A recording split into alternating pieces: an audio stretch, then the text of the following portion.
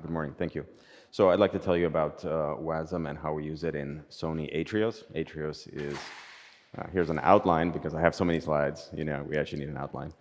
Um, AITRIOS is a, basically a product suite that envisions bringing to market intelligent and programmable vision sensors. So it's a platform that can be used for various verticals to create applications, um, such as the ones I will, I will show a little bit later. And because we wanted to make this an easy to program environment, um, eventually, you know, WASM became a, a big help in this area. Okay. So I think we talked about this before, and uh, everybody here perfectly understands these problems. So the reason we started with this in the first place is for safety, you know, on microcontrollers without memory protection, without hardware memory protection. That was our initial motivation for using uh, WebAssembly. So we needed to do over-the-air updates, dynamically linking components into uh, this real-time OS, and we really couldn't do that in any reasonable way, so we decided to sandbox the, uh, the OTA updatable components with, with WASM. And then we got more ambitious and said, well, this, is a, this platform is pretty cool because we can also target various source languages to it. Maybe we can actually make the development easier than just what we have currently, which is a, a straight C uh, environment. And eventually, you know, we were also thinking that if we have such, you know, loadable components with standardized interfaces, we could develop a marketplace of uh, applications that uh, third parties could put in there. And therefore, again, it becomes more like Android, quote unquote. So what are some of the difficulties with the traditional embedded development? Uh, it's hard because it's C. I'm, not a lot of people know C anymore, unfortunately. And uh, also, it is a very constrained environment with particular, you know, limitations versus running on Linux in the cloud, let's say, right? Maintenance is difficult because after the, uh, the product ships, typically uh, it's hard to update the firmware. And firmware release cycles are actually really, really long uh, in general. So if we wanted to make any kind of functional change and wait for a uh, actual QA cycle, that would be very not agile, let's say. And, finally, security. Uh, there are always bugs. Bugs always happen, and we need to patch them as soon as possible. At least by isolating some of the uh, functionality into the sandbox, it makes that less likely to cause a, a, critical system you know, vulnerability, and if there is one, we can, we can patch it easily with an OTA update. So, and I, I, found this quote somewhere, but you know, they said that the number one source of security vulnerabilities is memory bugs. It sounds believable, and that's certainly one thing that uh, WASM helps us with. Then we get into this you know, polyglot development thing. So as I mentioned, typically all the development is in C in these environments, but we would like to enable uh, other languages. And, and there's actually a motivation for this. You know? So the most popular programming languages in general are, are not you know, C, C++, and Rust. Rust is very beautiful, but it's not that popular, relatively speaking. Uh, at the top, we have like things like JavaScript, Python. Uh, so, you know, that's important for us. And we do computer vision, AI, and Python is the language that everybody uses in that area on the, on the server side for training. And so we wanted to see if we can enable some of the same functionality on the inference side on device with, with Python. Um, so, right?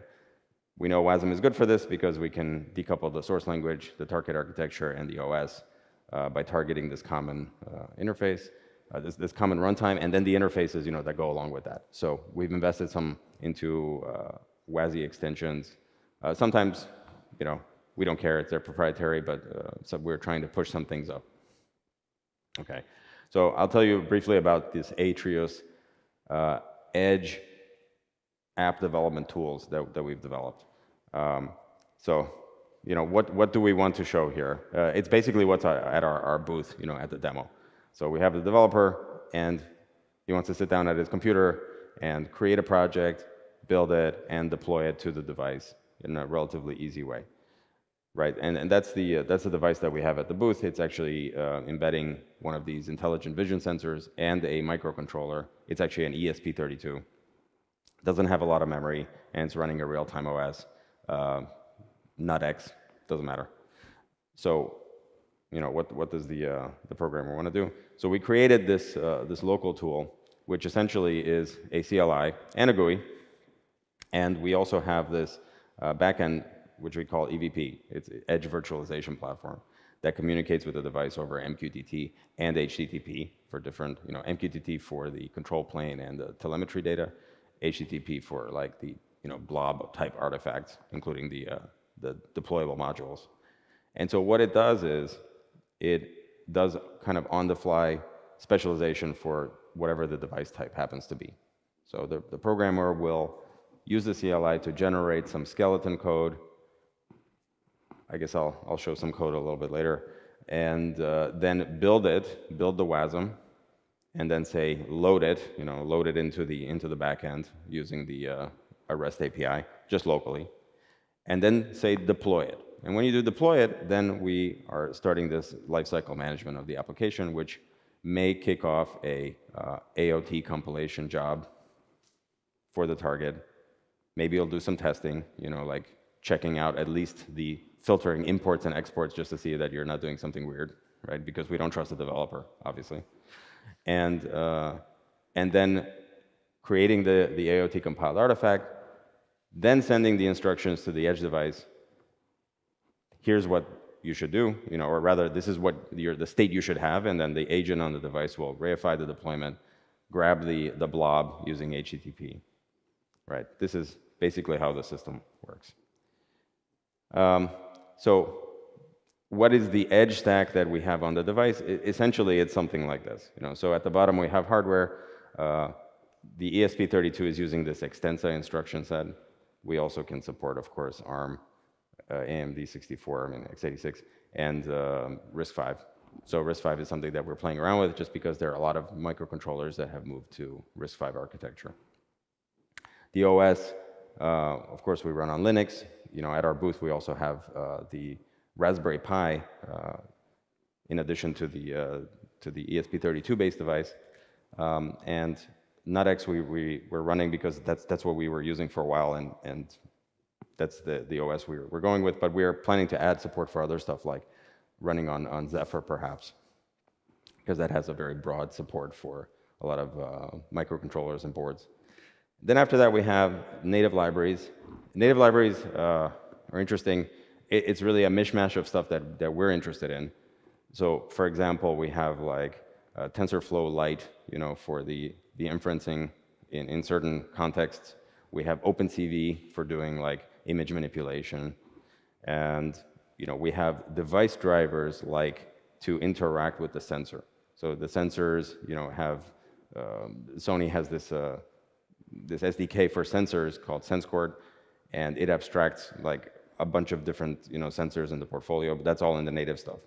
And then we expose that into the you know uh, the application layer using either you know WASI standard stuff or you know, these edge services APIs that I'll mention that are just basically the things that we, we, we want to provide to the application layer. Okay? And then on top of that, we have the modules that are, that are running, uh, you know, the actual user code. Okay? So, so what is the EVP agent? Well, it's like a kubelet, you know, essentially, but for tiny devices. Uh, it's certainly not as, nearly as sophisticated, but it does enough for, for what we need. And we're using WAMR, and it communicates with the backend via MQTT. Right? So the edge services APIs that, that we expose essentially fall into these four buckets at the moment. You know, we have the interactions with the sensor. So like you can read an image, you can configure the frame rate, you can configure lots of things, you know, but essentially there are things to interact with the sensors. We have communication, like sending telemetry data to the EVP backend over MQTT, or from one you know, the type of sensor to another sensor directly, uh, currently via sockets. That is, uh, we don't expose sockets directly to the application. We don't allow you to like create a socket, but we can set up a channel during the deployment and that you can, that the application then can use, okay? And WASI-NN, so the, the neural network inferencing, you can load a model, you can run the inference. That's, for example, where we would use TF Lite, you know, in the native side. If there's another type of uh, accelerator, like we, we do use like the Google Edge TPU, Coral, you know, we, we embed that, that native part as well the application sort of can't, can't tell what it's using, right? And then data storage, so we have like, you know, local embedded database or the blob storage where you can access the, uh, you know, artifacts, like I said, using put, get, you know, post, etc., from, uh, from the backend. Okay, so uh, this is the GUI version of the tool that we've developed. Uh, we can go and play around with it later if you want. Basically, it's a developer-focused tool where you can easily, you got your, your sensor device, you can onboard it, you know, you scan this QR code essentially, and then it knows where to connect. And then you can, you know, configure its, its settings, uh, you can uh, start streaming, doing inference, and deploying uh, an application, an AI model onto, onto the sensing device. So we have both the GUI and the, and the CLI, right? The CLI is, has the same functionality essentially, um, but uh, it also has the functionality of you know, generating the skeleton code and compiling it. Okay. So this is a bunch of C code, and I didn't prepare this well, I apologize, but essentially it's a, uh, an event-driven type of framework where you, you know, generate the code and you start filling out you know, these, these handlers. So on create essentially is like when the application gets, uh, when the module gets instantiated, you have to do certain things there, like in this case, you're opening the uh, stream of the sensor so you can read it. And then on iterate is called basically as frequently as is configured, uh, and then you're, you're allowed to get the frame data you know, and start processing it. Now, we don't actually copy large data into the sandbox, into the WebAssembly sandbox. We keep handles to native memory because these things can be very large and there's really no good reason to copy it at the moment. We don't do the actual image manipulation inside uh, the sandbox. We do the control essentially. Okay, and then there's other you know methods that we can emit uh, the uh, metadata over to the the backend. So let me show you some you know, example applications. Besides the one at the booth with the, with the car, that one is relatively simple because all it does is just do the position detection and the visual, visualization is with Grafana. But this demo is, is actually really uh, interesting because it's much more realistic. So it's for license plate reading, which you could imagine using in like uh, in a logistics context. You know, like the truck is backing up to a loading dock and it needs to read the license plate or read something you know from the from the back of the truck. So uh, we have the, the sensor device, and it's using the, uh, the intelligent sensor that has a built-in DSP. And it, this one is actually based on Raspberry Pi, but that doesn't, that doesn't really matter. It would work the same on the, on the tiny uh, ESP32-based device. Okay. So essentially what happens is we run one neural network inference for detecting the license plate, detecting you know, its position in the frame. Then we crop the original image just to take the license plate out. We do another neural network uh, inference to detect the individual characters. And then we run it through an actual like algorithm that will, based on the characters, the, the type of the characters and their relative positions, will generate a string, which is the actual, the only thing we want to send from the, uh, from the device. Okay, so it looks something like this, more or less, in terms of the data flow. The stuff that says IMX500 is all running inside the sensor and the DSP. It's, it's in one package. So the image comes from the image sensor to the ISP that just does the basic uh, image signal processing to get it into a usable RGB form, then running the inference uh, to detect license plates on the DSP. And then two things are sent you know, from there to the, to the host CPU. The original raw image and these, this metadata of the, of the detection, the bounding box.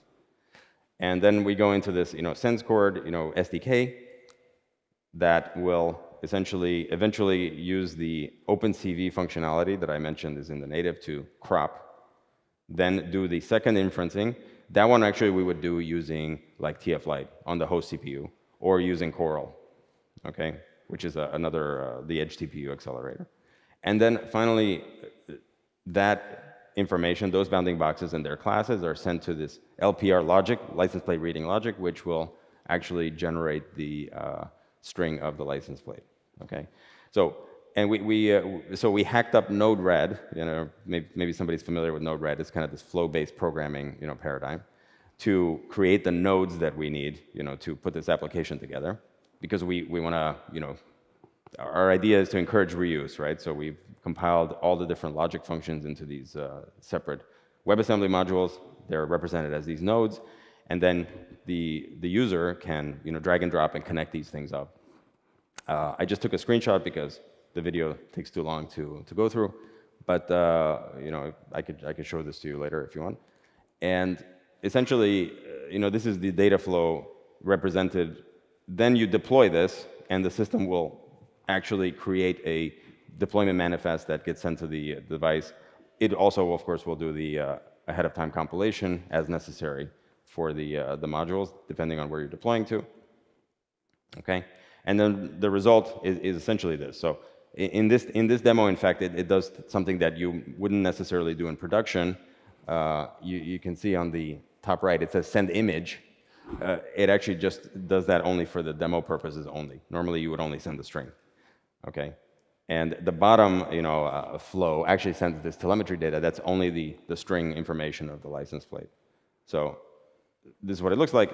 You see there's the, the image with uh, the bounding box overlaid just to see that the detection happened. And then on the right side is the actual string of the, uh, uh, that, was, that was coming out of the uh, license plate reading logic. Okay? So it's an example of something that's you know, easy to, to reuse. Okay, so this is my uh, call to action. I actually revised my talk, you know, quite a bit, you know, after seeing uh, yesterday's presentations and talking to people. Uh, you know, my favorite graphic to put into uh, to put into presentations.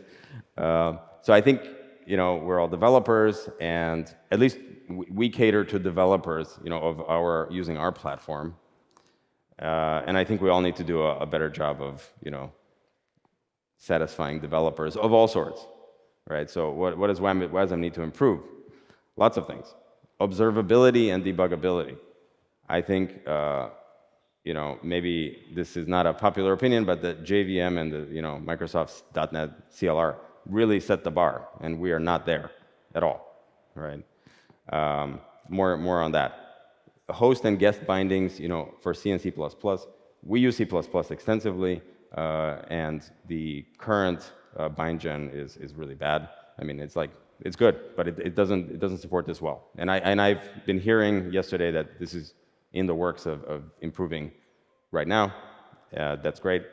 But uh, you know, the, a lot of demos we saw are in Rust, and Rust is very beautiful, but we don't have any Rust. Nobody writes Rust in our, in our organization. We have C++ and, and, uh, and lots of it. Um, Python, you know, so we've I, I didn't get into the Python uh, details. Uh, we've, we've done limited and sort of narrow support for Python in several different ways. Uh, we tried transpiling it to C++.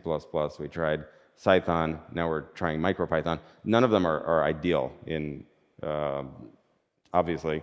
But uh, it, will work well enough for, for our narrow use case. But somehow, we, we need a much better way to do this, including the fact that there are all these existing libraries in, in Python that have native backends, we need to import those in without like just linking the native part into, into the, uh, the OS, you know, in our case, right? There, there, there must be a better way. Uh, and one thing that I'm personally interested in is like shared memory and multi-memory support in, in, again, in C and C++.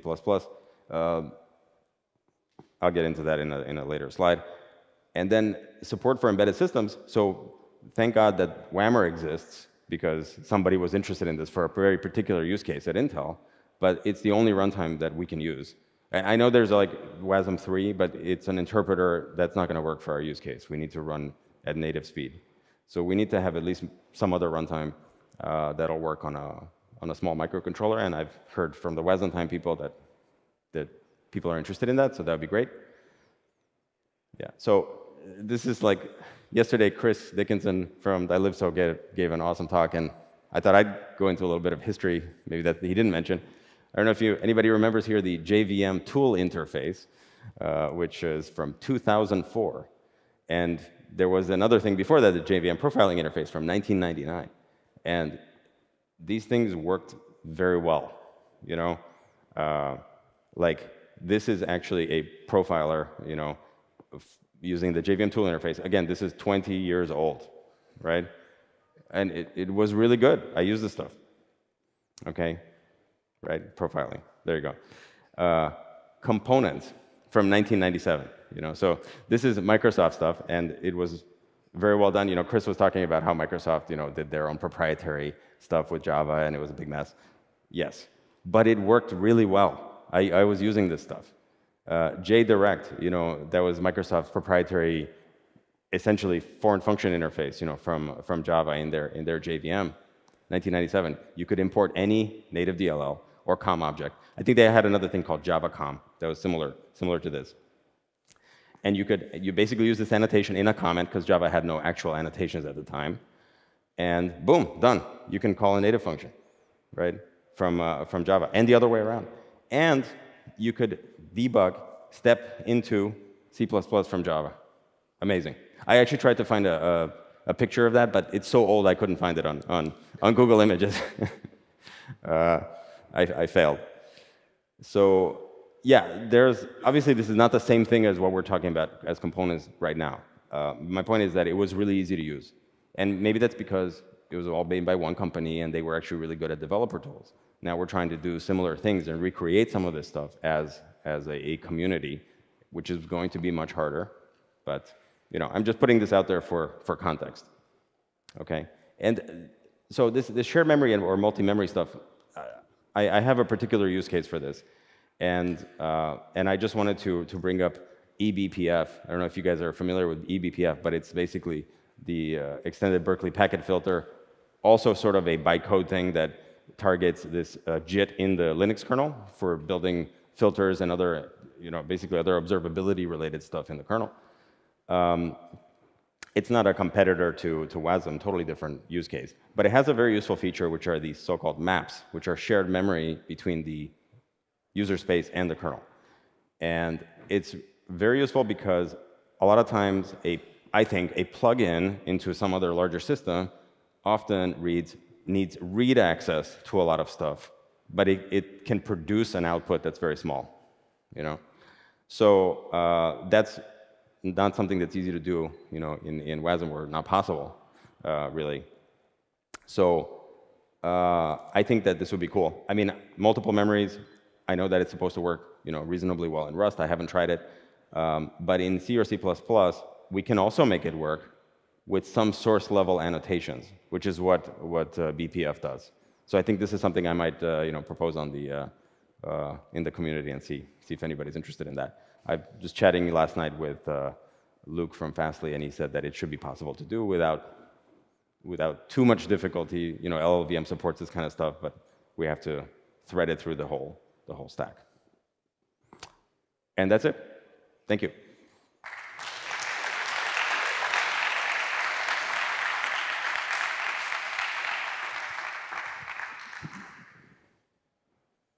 Any questions?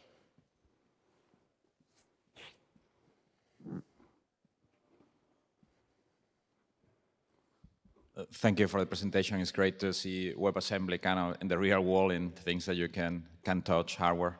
Um, so this is more of a philosophical question. Yeah. Uh, based on what you have seen, do you think that this will be more, um, you know, driven by companies like, like yours to, to, have industrial applications like license plate or robotics with kind of like uh, specialized cameras, or do you see that this is going to be also like people getting a random camera from Amazon and hacking it and, and starting to more more from um, uh, you know kind of um, grassroots uh, um, like people start at the beginning with Raspberry Pis and things like that. I see. Yeah. Well, we're working on a product, you know, so that's what it is. Uh, I guess I could imagine some of this making computer vision applications easier, making it out into the community. Uh, unfortunately, we haven't open sourced anything uh, and are not likely to do so because of business. So I don't know. My particular take is like I, I think this is awesome, and and as people watch this, as the price point of the cameras goes down, and yeah. and you have more CPU, I you know I wanna try this now when I go home. Sure. So. Yeah, yeah. I mean, there there are various frameworks for doing this kind of stuff uh, besides, besides ours. Ours maybe is, is unique because of using WASM in a very, very small context. Yeah, on Raspberry Pi, I think it's much easier. It's, it's basically a supercomputer compared to the stuff we're dealing with. Hey, Dan, over here. Uh, I have two questions, if that's okay. Uh, Yeah. The first is, um, could you speak a little bit to what you think the difficulty would have been, or maybe if you did attempt to do multiple devices, implementing kind of the same host environments um, without WebAssembly, would that have been more challenging? Did WASM Oh, help oh, significantly? Yeah, ab- Both absolutely. on the Pi and I mean, just having multiple operating systems is already a problem. So, uh, you know, NuttX, the real-time OS that we're using, is actually POSIX compliant, you know, quote unquote, yeah, to some extent, but it's not quite the same. Uh, it's also so maybe you could compile something that looks the same, you know, but you would have to recompile it and, and link it, you know, at least. Then we would like to have a uh, third parties writing applications for, the, for this thing as well. Third parties you can't trust, you know, in, in the same way. In Linux, you could use a container and you could sort of say that that provides sufficient isolation. Real-time OS, no way. It's not designed for multi-user, you know. So uh, the system calls are have no checks, you know, basically as to who's calling and for what reason, right? It's not even good process level isolation in that sense. So that's not possible. Uh, I mean, that's that's already like a showstopper, I'd say. Cool, thank you. The second question is just, um, you speak a little bit to the uh, comparison, if you've done any benchmarking on the power draw difference between uh, the AOT compiled module and if it were interpreted through a device using PoE in particular? You know what? No, we, we didn't. Good question. Uh, but the the frame rate that we can achieve with you know interpreted versus uh, AOT is is very big. So we have to do AOT. Period. Cool.